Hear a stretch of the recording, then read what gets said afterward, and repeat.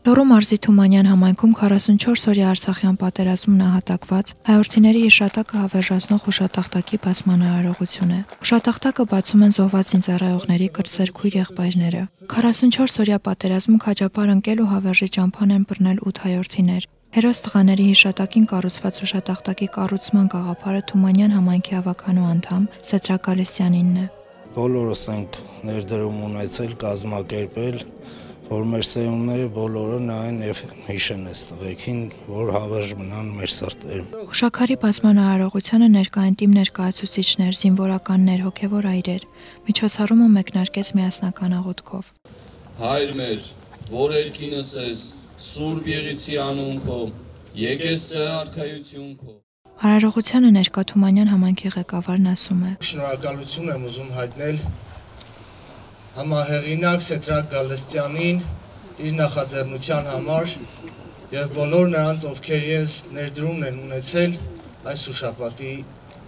բացման գործում։ Բարձունքը մերն է, տղերքը չկան։ Նրանք ավելի բարձրում մնացին։ Դիպան աստղերին, աստղերը հանգան ու մրմուր քսվեց մեր ցամաք հացին։ Թումանյան համանքի հերոսներն են, ովքեր ճշտամու դեմ մարտնչեցին մինչև վերջին շունչը։ Հայրենիքի պաշտպանությունը վերդասեցին սեփական կյանքից ու զոհաբերեցին ամենաթանկը։ Սեյրան Սիմոնյան, Գոր Կասպարյան, Ռադիկ Հովակիմյան, Ամբարձում Հովանիսյան, Արամ Խաչատրյան, Կորյուն Սերկոյան, Արման Անտոնյան, Էդուարդ Մարուկյան։ Նրանք մեր օրյա հերոսներն են, որոնցով հպարտանում ու հպարտանալու են սերունդները։ Տղերք ինքնամոռաց նետվեցին մարտի, քանզի գիտակցելով, զյանմահություն է մահնիմացյալ, Զարկեցին ու զարկվեցին, բայց չնահանջեցին։ Քանզի ազատատենչ տախտանց օրինակով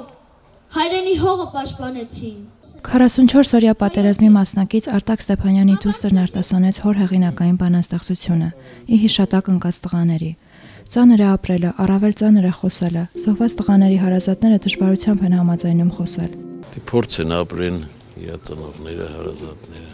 Մենք պետք է պահենք մեր երկիրը Ծնողների ու հարազատների արցունքները խեղդում են։ Հպարտության զգացումն ու անսահման կարոտը միախառնվել են ու հուզմունքն էլ ավելի մեծացրել։ Գոր Գասպարյանի մայրը Շուշիկ Մաթևոսյանը պատմում է, որ 26-ամյա որդին կամավոր է մեկնել ջրական եւ պատերազմական թեժ գործողությունների ժամանակ ընկել է հերոսի մահով։ շատ հայրենասեր էր։